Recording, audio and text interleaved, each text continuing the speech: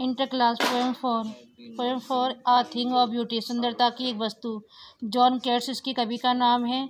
तो कवि का कहना ये है कि हर किसी की लाइफ में कोई ऐसी चीज़ बहुत सुंदर होती है, जिसे वो जिसके बारे में सोचकर वो खुशी पाता है। तो सुंदरता की एक वस्तु मानी गई जो हर किसी की लाइफ में कोई ना कोई चीज़ को लेकर होती है। स्टेंजा बंद देखिए। आ थिंग ऑफ़ ब्यूटी सुंदरता की एक कवि, सुंदरता की एक वस्तु जो है, वो क्या होती है? खुशी होती है, एक आनंद होता है हमेशा के लिए फॉर एवर वन हमेशा के लिए। इस लवलीनेस इसका जो प्यारापन है लवलीनेस का मतलब प्यारा, सुंदरता, की सुंदरता है, वो बढ़ती है इंक्रेस माने बढ़ती रहती है, और ये कभी भी नहीं गुजरती नथिंग लेस नथिंग लेस का मतलब बताया गया है।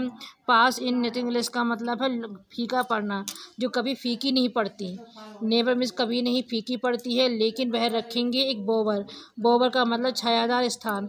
एक छायादार स्थान को शांत, छायादार स्थान पर शांत रखेंगे हमारे लिए।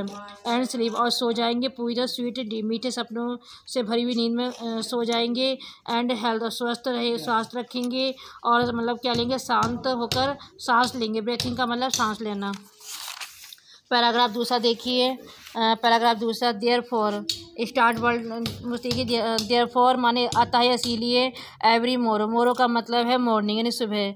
तो प्रत्येक सुबह हम मतलब हम क्या कर रहे हैं ब्रेथिंग कर रहे हैं। ब्रेथिंग का मतलब गूथना कि कोई चीज़ गूथ रहे हैं। या क्या गूथने की बात हुई है? फ्लोवरी बैंड ये फूलों की माला जो बांधती है हमें धरती को। फूलों की माला जो हमें धरती से बांधती है स्पाइट ऑफ़ स्पाइट ऑफ़ का मतलब स्पाइट ऑफ़ स्पाइट ऑफ़ माने अतिरिक्त या बावजूद। बावजूद या अतिरिक्त होता है डिस्पॉन्डेंस डिस्पॉन्डेंस मतलब डिस्पॉन्डेंस का मतलब बताया गया है निराशा। तो निराशा के बावजूद भी और अमानवीय गुण। इन ह्यूमन डेथ का मतलब बताया गया है मानवीय गुण।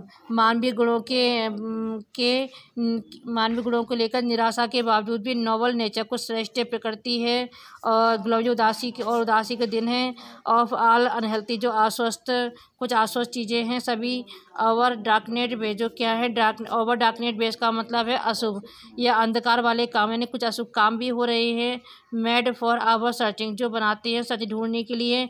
हाँ इसके बावजूद भी कुछ से कुछ आकार जो सुंदरता का वो मुँह अब दूर चला जाता है पाल माने होता है, आवरण या कुछ चीज़ का ढकना होता है, पालमिस आवरण।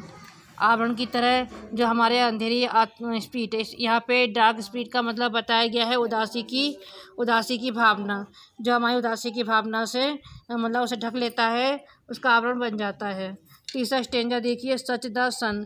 ऐसी सूर्य जो है, मून चंद्रमा, पेड़ पुराने हो गए हैं, यंग मतलब पेड़ जो पुराने हैं और यंग भी हैं स्प्रोटिंग स्प्रोटिंग का मतलब बताया गया है, नई कोपले उगाना नए नए मतलब कलियाँ उगाना से छायादार स्थानों पर जो बूंद माने, जब मतलब बूंद माने क्या है एक वरदान है उनके लिए और सिंपल सीप, जो बहुत सिंपल से सीप हैं, सीप माने भेड़ भेड़ वगैरह, और ऐसे ही कुछ डेफोडिल्स एक फूलों के नाम हैं, पीले फूल होते हैं डेफोडिल्स वो बेदा ग्रीन वर्ल्ड एक हरे संसार का मतलब हरियाली पर्यावरण में वे रहते हैं वे रहते हैं और क्लियर स्पष्ट करते हैं रील्स को। रील्स का मतलब बताया गया है नदियाँ, छोटी नदियों को स्पष्ट, नदियाँ हैं, छोटी नदियाँ स्पष्ट दैट फॉर देम जो खुद को क्या करती हैं? कूलिंग ठंडा कर रही हैं कवर ढककर और बनाकर एक गेंट माने बहुत ही विशाल बड़ा गर्म मौसम में और हल्के जंगलों की ब्रेक पर। ये मिड फॉरेस्ट ब्रेक का मतलब बन के मतलब जंगलों के बीच में उगी हुई झाड़ियाँ। ब्रेक माने झाड़ियाँ जो बहुत बड़ी हुई हैं रिच माने बहुत बड़ी हुई हैं। Sprinkling sprinkling of fair sprinkling of fair जो क्या है, मेले मेले से मेले की, मेले में कोई मुश्क रोज़ माने होता है मुस्क रोज, फेयर मुस्क रोज ब्लूम्स इस पूरे का मतलब है सुंदर कस्तूरी पुष्प। कोई मतलब मुस्क माने होता है कस्तूरी, जिसकी खुशबू खुद उसके पास से आती है, ऐसे तरह वो खिलते हैं।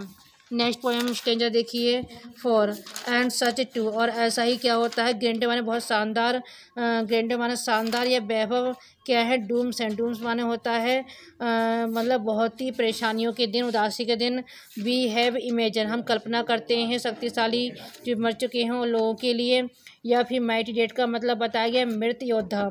या वीर व्यक्ति के लिए कहा गया है, आ लव ये सब पुराने प्यारी कहानियाँ हैं टेल माने कहानियाँ हैं, जिसमें हम सुनते हैं और पढ़ते हैं। एन एंड और अनंत फाउंटेन फाउंटेन एक फब्बारा की तरह, जो इमोट, अमर रूप से ड्रिंक करने के लिए है ड्रिंक करता है। इमोटल ड्रिंक का मतलब बताया गया अमृत धारा जो एक फब्बारा है, हमारा धारा की तरह पुरिंग माने उड़ेलता है। हम हम में कैसे स्वर्ग की तरह हेवन ब्रिंग की तरह हेवन ब्रिंग का मतलब स्वर्ग के किनारे से स्वर्ग के किनारे से। Complete complete the poem